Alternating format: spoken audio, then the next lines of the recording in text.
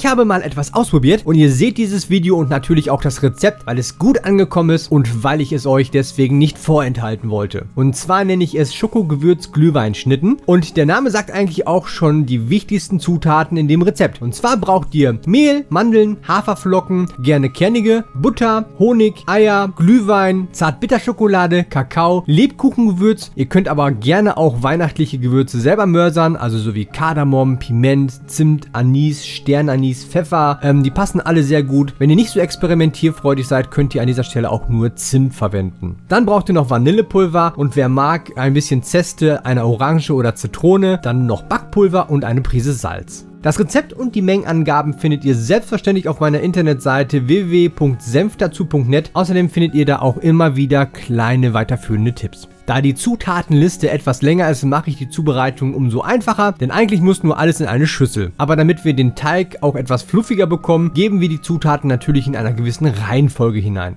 Heizt den Backofen also auf 180 Grad Ober-Unterhitze vor. In eine Schüssel gebt ihr dann den Zucker und die Butter und schlagt beides richtig schön schaumig auf. Dann gebt ihr nach und nach die Eier hinzu und schlagt jedes Ei für mindestens 30 Sekunden unter. Sind die Eier drin, mischt ihr alle trockenen Zutaten zusammen und gibt sie dann abwechselnd mit dem Glühwein in die Schüssel.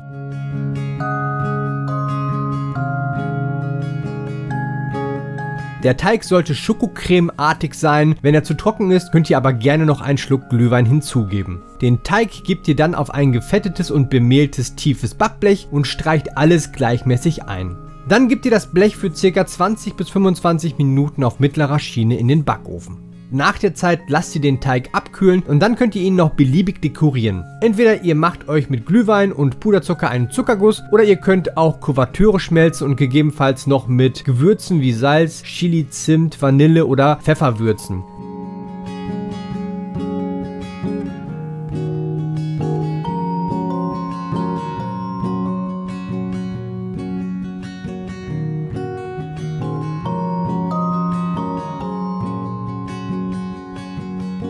Ist die Dekoration nun hart geworden, ist der Kuchen auch fertig. Total schokoladig und dezent würzig. Je nach Glühwein und auch je nach Gewürze kann man sich so ganz außergewöhnliche Schnitten kreieren und ich finde es richtig spannend und richtig lecker. Wenn euch das Video gefallen hat, dann freue ich mich natürlich über einen Daumen nach oben und vielleicht habt ihr auch wieder Lust, mir einen lieben Kommentar zu schreiben. Schreibt mir auch gerne, wenn ihr etwas auf dem Herzen habt und wenn euch dieses Video ganz besonders gut gefallen hat, dann wäre es eine tolle Unterstützung, wenn ihr es teilen würdet. Schaut euch auch gerne noch ein weiteres Video an und wenn ihr findet, dass ich mir mit meinen Videos viel Mühe gebe und es auch irgendwo Spaß macht zuzuschauen, dann abonniert mich doch kostenlos, damit ihr auch seht, wenn neue Videos rauskommen. Ansonsten könnt ihr mich auch gerne in den anderen sozialen Netzwerken folgen. Dort bekommt ihr dann auch immer alles mit beziehungsweise manchmal sogar auch noch ganz andere Sachen. Vielen Dank, dass ihr dabei wart. Ich wünsche euch noch ganz schöne weihnachtliche Tage. Euer Pascal von senfdazu.net.